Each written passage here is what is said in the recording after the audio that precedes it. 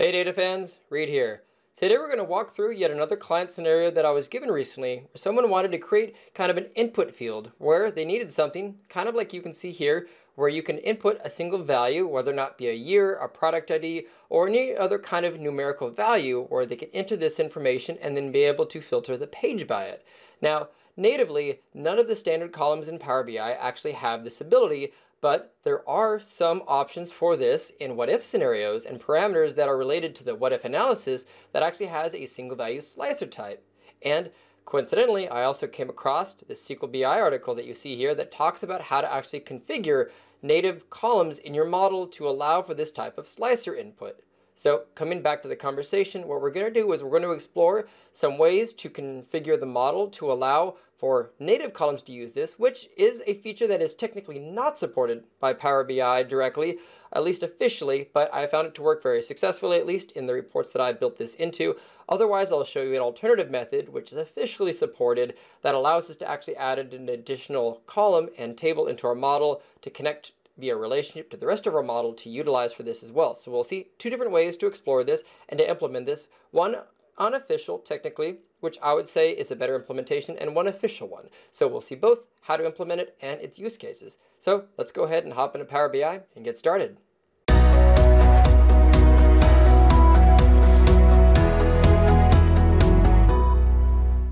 So let me first start by showing you the output that I built out for the client. They wanted a bespoke slicer, and by that, there's a few different elements that built this out, but we have essentially a title, an indication of if a filter is being applied. Right now, the X indicates that no filter is being applied, the input field, and a clear input reset button. So if I was to put in 2022, and I can filter to that, this indicator over here changes, that little symbol goes away, and I can use this to clear it back out.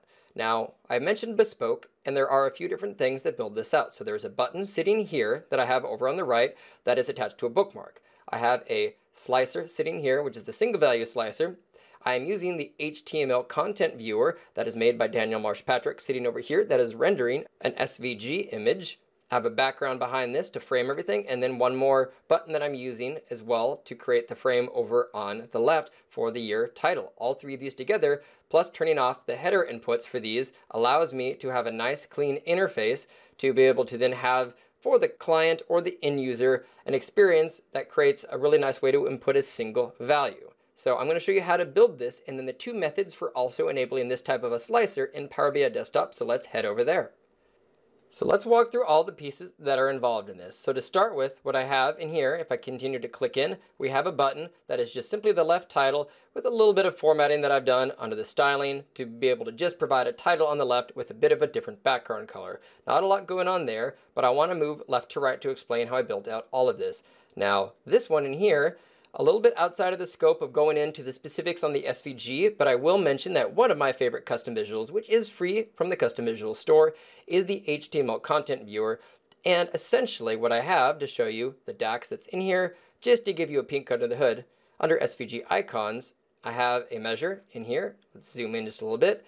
If selected value for calendar year, return one of two SVG images that I have nested in another measure. So filter versus no filter SVG. That basically is just saying, hey, am I filtering on a single year on this page or not?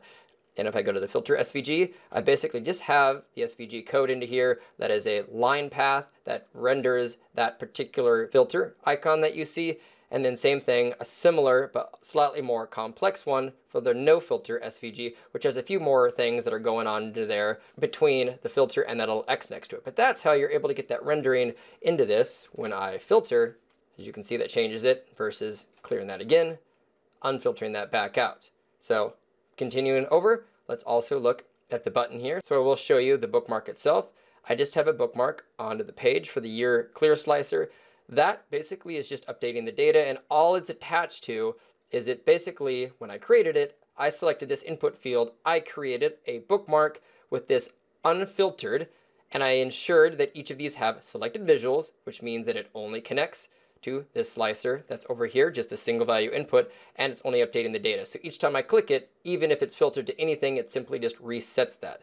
Now, to me, I will say the magic truly comes in with making sure that we can have a single value input on the page itself for this. Now, turning back on the header just briefly, if I can go to visual, slicer header, this, here we go, is a single value. Now, normally this is not available for native columns in Power BI Desktop. You could have list drop down between, less than, greater than, but this is reserved typically, turning this back off, for new parameters, the numeric range parameter. That's what this is associated with. So let's go ahead and flip over to the web browser. I want to show you an article so after my client had the request of a single value input, I wanted to first see if there was any way to do that for native slicers. I came across this article by SQL BI that talks about how to do this and convert a native column to allow for this input. So they figured out a way to be able to use Tabular Editor to edit the properties with a extended property, a parameter metadata, where you add this manually, you can actually essentially trick Power BI into thinking a native column is a parameter column and then using a single value slicer type. However, I do want to mention there is a disclaimer that it is technically not supported by Microsoft. Again, I've not seen any issues doing this, but that is a caveat to consider. But the article will be linked down below in the description. But otherwise, let's see how I added this in the, in the tabular editor environment. And to open Tabular Editor, you open that from the external tools. If that is installed, this can be done in Tabular Editor 2 or 3, but we're going to open up Tabular Editor 3.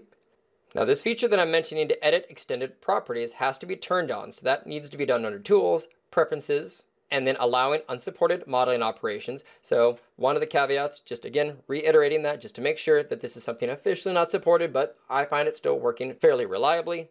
Canceling out of that extended properties right here for category ID or any ID column that you want to do this single value input from. If you go to extended properties and open up the extended properties window, you have an option to add a string property and all you need to do is provide a value of this right here, curly bracket version zero, naming it parameter metadata. And if you add this to any column and save this, then for that particular column that is in your workbook, you'll then be able to use a single value slicer type. So again, I can show you as a new page example, I have my product table and I have done that on a few columns. So product ID, that has an option for single value because I have assigned both product ID, category ID, and year from the calendar table. I've assigned them those extended properties so it thinks that it is a what if parameter. So that's the only thing you have to do in this one. You don't have to do any additional data adds to the model. You simply have to create the edits in Tabular Editor to achieve this result.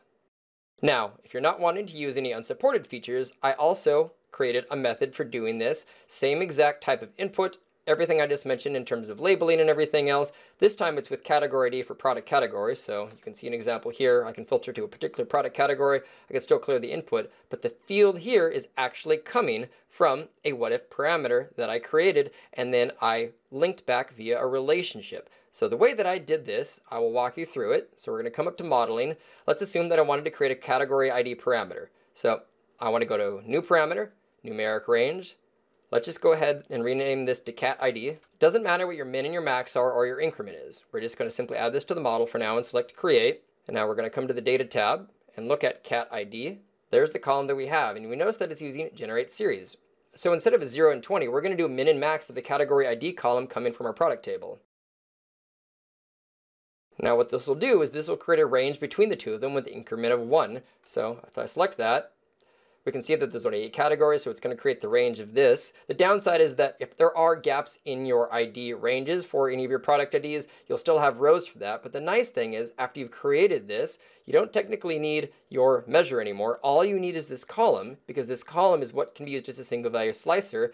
And I've already done this and completed it with my other category ID. There we have the same one, but if you come to the model and you add a relationship between that core table that you created as a what if parameter and the original ID column on any of your dimension tables, then this slicer automatically propagates the filter connections between the two of them to that other table. So this is a official way to have a single value slicer with fully supported features. The downside is you are adding one additional table to your model, but generally speaking, it's probably not going to be that big of a table or in file size. Hopefully only a few thousand rows at most that you're maybe adding to this. Uh, but overall, this is a alternative way to get that same type of a output of that single value filter, but at least without having to do any model editing as far as the tabular editor configurations for unsupported features.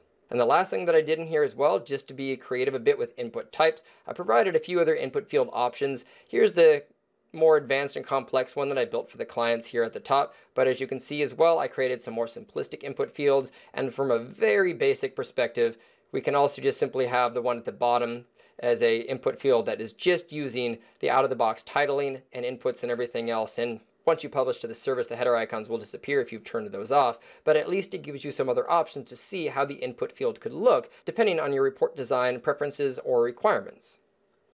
But once again, I love to continue to get development opportunities with clients where I can explore and even expand my art if possible when it comes to what can be done in Power BI and be given scenarios I might not have thought of. But the single input on a column that has some type of a number data type is an interesting scenario with some unique solutions that we've seen both from the SQL BI perspective of doing tabular model edits, also from a, let's call it officially supported scenario of actually creating the what if parameter table and then linking it back to your main table via relationship. So two different ways to implement the same user solution as far as how the consumption of this goes, but at least gives you a few ideas for that art if possible. If you like this, hopefully this is something that you can incorporate into your reports. If you liked the video itself, please feel free to check out some of our related videos up here in the upper left. Otherwise, don't forget to hit that like or subscribe button, and I will otherwise see you in my next video.